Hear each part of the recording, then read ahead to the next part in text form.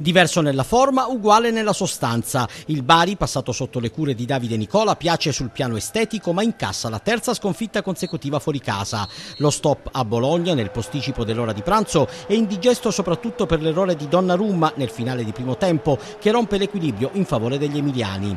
Le due squadre, unite all'ingresso in campo nel ricordo di Klaas Ingesson, si pareggiano nelle occasioni iniziali. Pericolosa è quella costruita da Zucculini, finalizzata dalle Ribi e sulla quale Donnarumma si salva distinto la prima volta e con un pregevole colpo di reni nell'anticipare acqua fresca. Non è da meno l'incursione di Donati, dopo aver conquistato il pallone a centrocampo, con colpo di tacco a servire Caputo, la cui conclusione si spegne sull'esterno della rete. La gara è piacevole e potrebbe sbloccarla il Bari a cavallo della mezz'ora con il tentativo di esterno di Galano respinto da Coppola e spazzato via da Morleo. La mantiene sul pareggio ancora Donnarumma, reattivo sulla conclusione al volo di Acquafresca, ma il portiere biancorosso tradisce quando manca poco al riposo.